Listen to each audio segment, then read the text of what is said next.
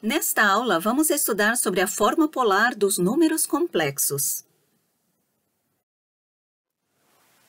Seja P o ponto que representa Z igual a A mais BI, que é um número complexo diferente de zero.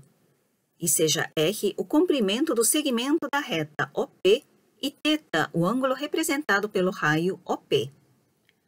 Então, teremos R igual a raiz quadrada de A elevado a 2 mais B elevado a 2, onde A igual a R cosseno de θ e B igual a R seno de θ.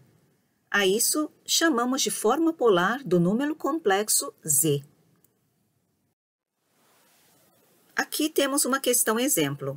Expresse o número complexo 1 mais raiz quadrada de 3i na forma polar, sendo que o intervalo do ângulo θ seja θ maior ou igual a zero e menor ou igual a 2π.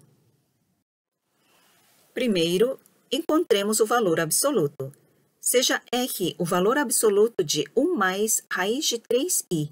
Então, R é igual a raiz de 1 elevado a 2 mais raiz de 3 elevado a 2, que é igual a 2.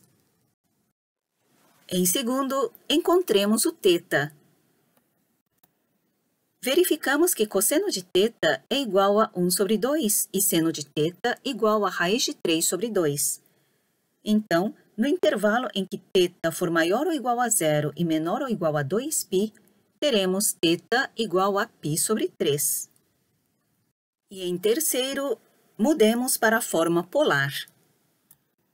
Como o valor absoluto é r igual a 2 e θ igual a π sobre 3, então teremos 1 mais raiz de 3i igual a 2 vezes cosseno de π sobre 3 mais i seno de π sobre 3.